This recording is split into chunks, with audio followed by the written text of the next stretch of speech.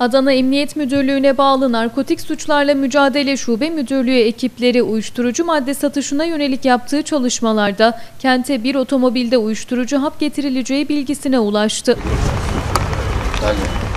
Polis bu bilgi üzerine otomobilin geliş güzergahında önlem aldıktan sonra otomobili Sarıçam ilçesi girişinde durdurdu. Otomobildeki 3 şahıs aşağı indirilerek arandı. Yapılan aramada otomobilde uyuşturucu hap bulunamazken arka koltukta oturan ME'nin iç çamaşırına gizlediği 4900 adet uyuşturucu hap ele geçirildi.